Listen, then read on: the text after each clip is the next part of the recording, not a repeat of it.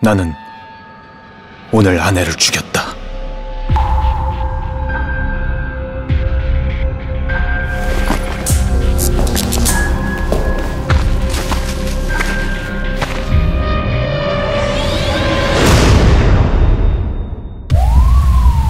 아니 그게 무슨 말이에요? 시체가 없으시다니?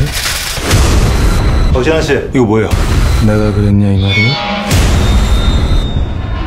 여자 발자국인데.